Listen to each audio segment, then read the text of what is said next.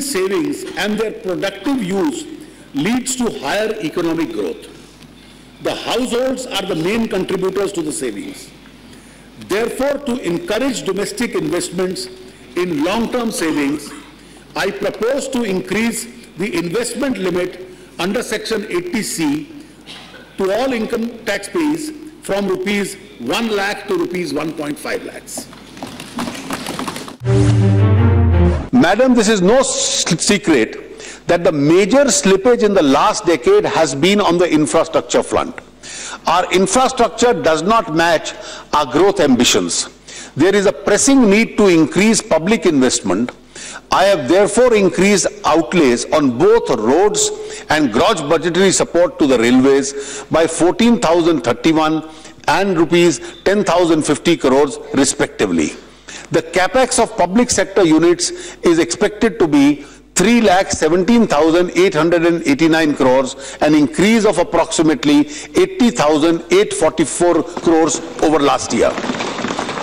In fact, all told, investment in infrastructure will go up by 70,000 crores in the year 15-16 over 14-15 from the center's fund and resources of the CPSEs.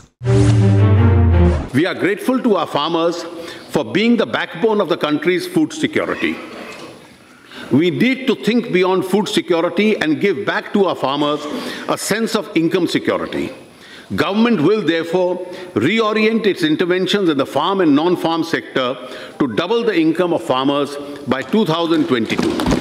Our total allocation on agriculture and farmers' welfare is rupees 35,984 crores. Political parties continue to receive most of their funds through anonymous donations, which are shown in cash. An effort, therefore, requires to be made to cleanse the system of political funding in India. Donors have also expressed reluctance in donating by check and other transparent methods, as it would disclose their identity and entail adverse consequences. I therefore propose the following system as an effort to cleanse the system of funding of political parties. A. In accordance with the suggestion made by the Election Commission, the maximum amount of cash donation that a political party can receive will be 2000 from any one source.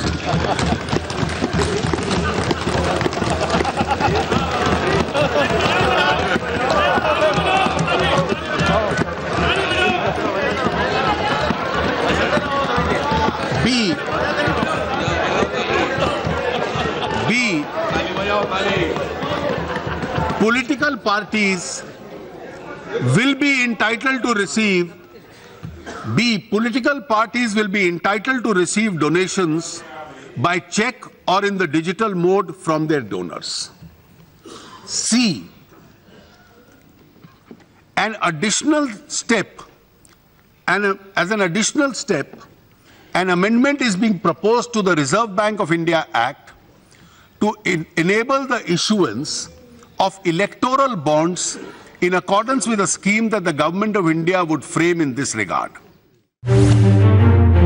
हमारे दल के घोषणा पत्र में ये संकल्प है कि कृषि को लाभदारी बनाने के लिए किसान भाइयों को उनकी लागत, उत्पादन की लागत से कम से कम 50 परसेंट से 50 परसेंट से अधिक अर्थात लागत से डेढ़ गुना दाम मिले सरकार इस संकल्प के प्रति संवेदनशील रही है। रबी की अधिकांश अधिघोषित फ़सलों का न्यूनतम समर्थन मूल्य लागत से कम से कम डेढ़ गुना तय किया जा चुका है। अब हम बची हुई अब हम अब हम बची हुई अधिघोषित फ़सलों के लिए भी इस संकल्प को एक सिद्धांत की तरह लागू करने का फैसला लिया है।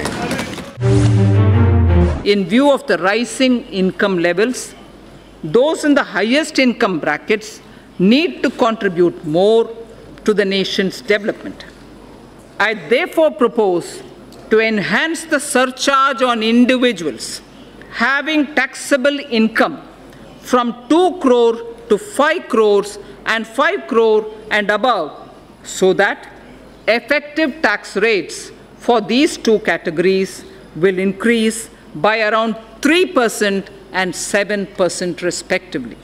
The Income Tax Act is riddled with various exemptions and deductions which make compliance by the taxpayer and administration of Income Tax Act by the tax authorities a burdensome process.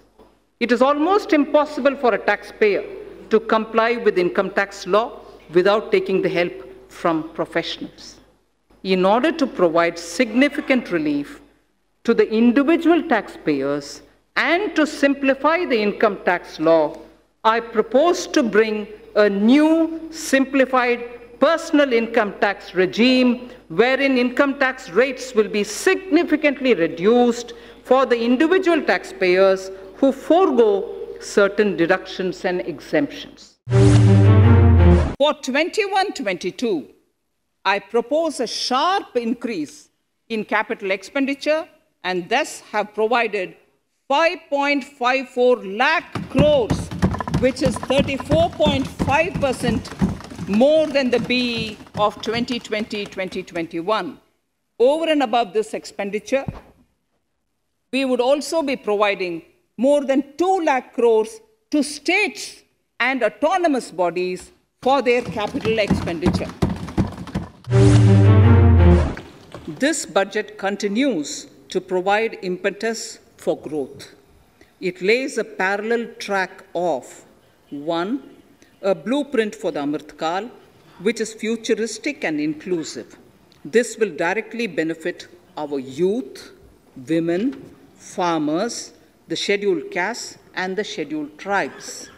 And number two, big private public investment. Number two, big public investment for modern infrastructure, readying for India at 100. This shall be guided by PM Gati Shakti and be benefited by the synergy of multimodal approach. Now I come to what everyone is waiting for. Personal income tax. I have five major announcements to make in this regard. These primarily benefit our hard-working middle class. The first one concern, concerns rebate. Currently, those with income up to 5 lakh do not pay any tax, do not pay any income tax in both old and new regimes. I propose to increase the rebate limit to 7 lakhs in the